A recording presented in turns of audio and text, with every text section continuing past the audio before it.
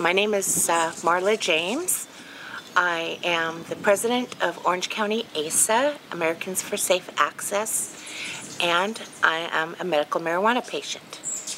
Uh, in, in, the year uh, 1999, December, uh, I came down with uh, necrotizing fasciitis, which is flesh-eating bacteria.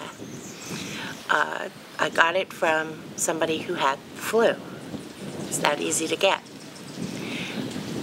they, in order to get rid of it, they had to cut parts of me out.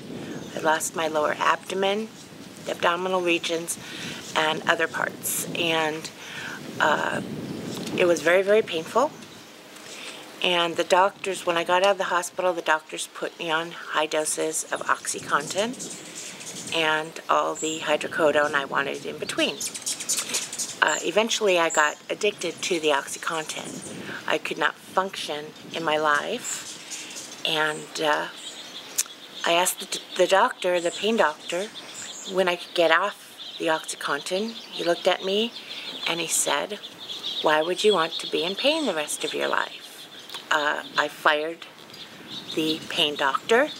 I went to another doctor who slowly uh, got me off the OxyContin by using, uh, I used uh, medical marijuana to help me because every day you'd wake up, you'd be sick, you'd be uh, uh withdrawing from the uh, OxyContin.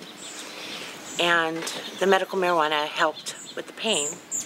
And eventually I was totally off the OxyContin uh, with the help of cannabis.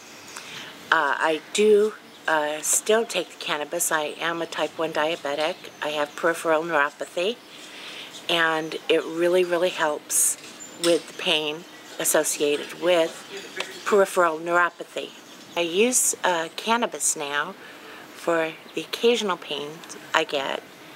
Uh, I don't uh, have to have it all the time, but when I do have pain, it really, really helps and I'm able to function, which is more important.